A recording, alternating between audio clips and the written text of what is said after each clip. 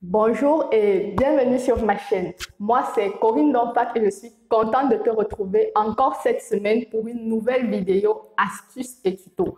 Si tu es nouveau ou si tu es nouvelle, fais comme chez toi, installe-toi et n'oublie surtout pas de t'abonner pour ne rater aucune de mes vidéos.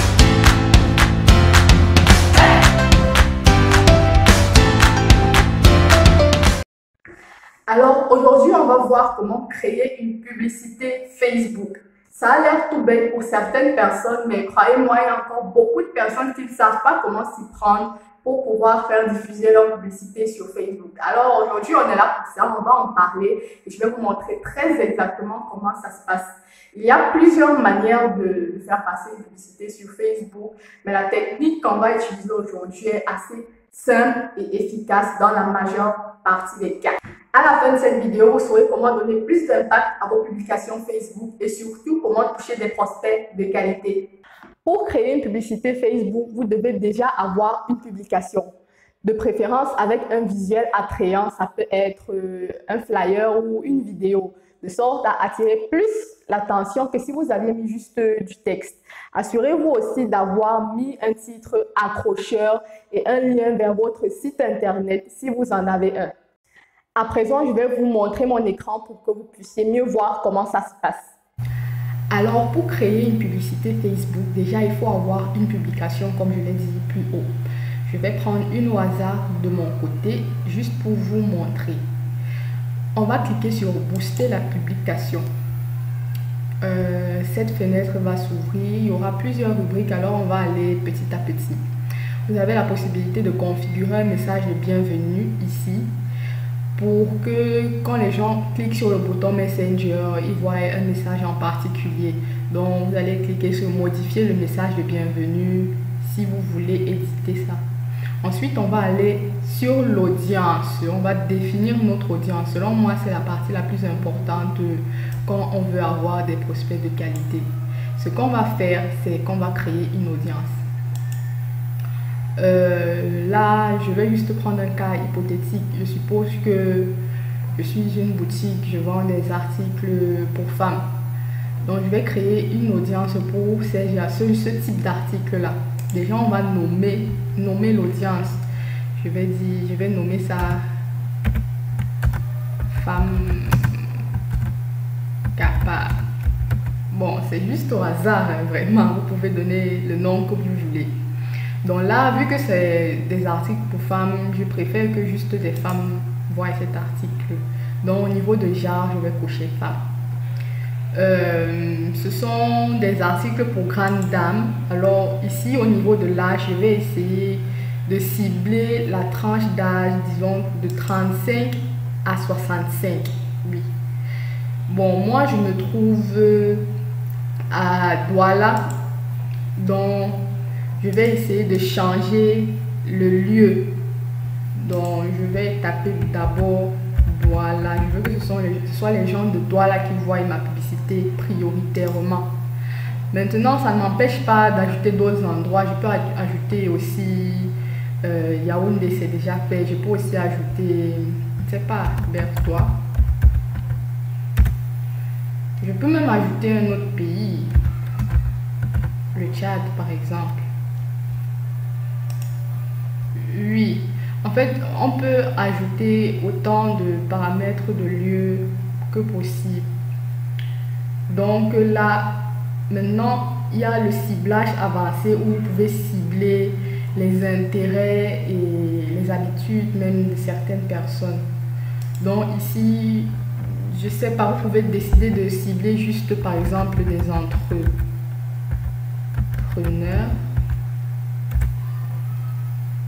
des gens qui s'intéressent à l'entrepreneuriat. Vous pouvez décider de cibler au hasard euh, foot, valeur. Euh, vous pouvez décider même euh, si ce sont des articles chers Donc là, ça n'a Ça a pris LOL. Je vais effacer, disons, des gens, disons, docteur. Bon, comme vous pouvez le voir, vous pouvez en ajouter autant que possible. Ça dépend des gens que vous souhaitez toucher. Euh, là, on a fini. Vous pouvez aussi décider d'exclure certaines personnes. Des gens que vous ne verrez vraiment pas qui voient cette annonce. Par exemple, si c'est des produits de luxe, peut-être vous ne voulez pas que les étudiants voient cette annonce. Alors, on va taper étudiant. Et là, si quelqu'un est étudiant automatiquement, il ne verra pas cette annonce. Alors, vous pouvez décider d'exclure d'autres catégories aussi, ça dépend de vous. Donc, quand vous avez fini avec euh, la configuration de l'audience, vous allez enregistrer.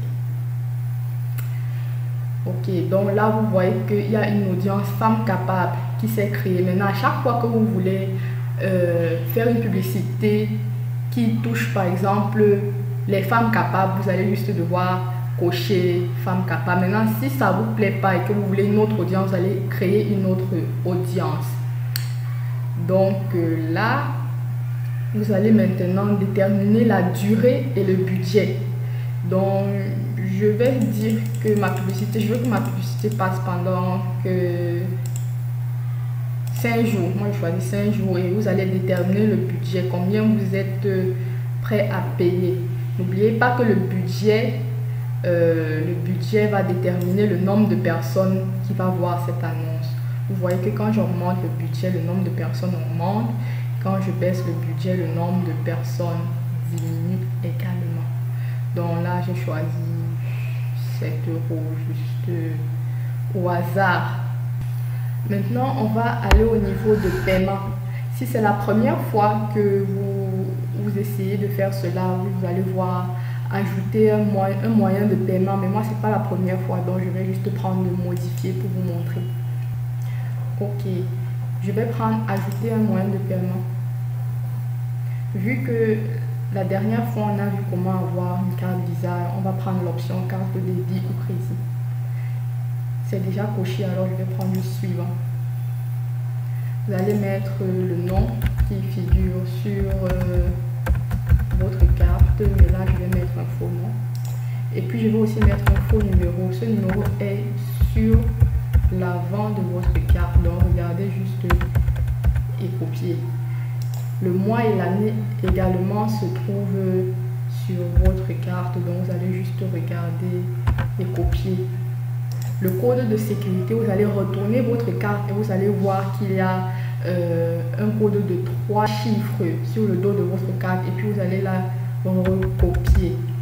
Ça, c'est juste de, de, faux paramètres, juste pour vous montrer. Quand vous allez enregistrer ça, vous allez, vous allez cliquer sur enregistrer. Quand vous avez fini d'enregistrer le moyen de paiement, vous allez juste venir cliquer sur booster. Nous sommes arrivés au terme de cette vidéo. J'espère qu'elle vous a plu et qu'elle vous sera utile. Si ce n'est pas encore fait, abonne-toi et active la cloche de notification pour être toujours informé à chaque fois que je poste une nouvelle vidéo.